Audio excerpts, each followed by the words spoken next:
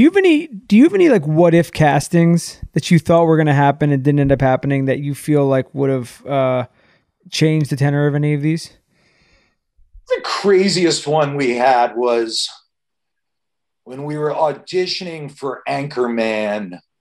We had Amy Adams audition for the Applegate role, and she was incredible and but she looked really young. And later i told adams amy adams because i've obviously worked with her a couple times i go you know we almost cast you in that but you just looked it felt weird because you looked like you were uh, how old were you back then? 19 20 she goes no i was 26 or whatever.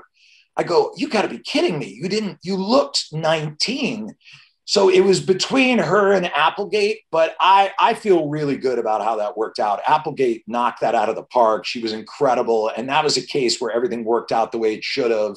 We then got to have Amy in Talladega Nights. I then got to work with her on Vice. So all is well with that. But that that was a close one. That was a weird one. And then the other one was we almost, it was between Rudd and Bob Odenkirk to play Brian Fantana. And I mean, to the point where like the studio came in, we were all, it was so 50 50. We couldn't pick which one. And I think the only reason uh, Rudd's crazy funny and, and a good friend of mine, but the reason he got it was he was a professional actor and like Odenkirk had been on like Mr. Show and was mostly a writer. And the studio was like, you know, call us conservative, but maybe go with the actor. And of course, since then, Odenkirk's become a wildly successful actor. So I always I look at Ferrell and go, hey, we have pretty good taste on that one. Like Odenkirk's had a great acting career. How long did it take to uh, to pick the names for for Anchorman? I, I'm not kidding when I tell you this. Two weeks. Two weeks of constantly switching them second guessing. Ferrell coming in the room going, I think I got a good one.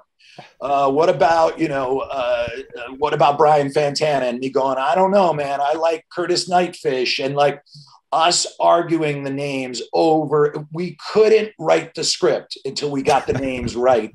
It took us four days to get Ron Burgundy. I mean, we had 25 names for that.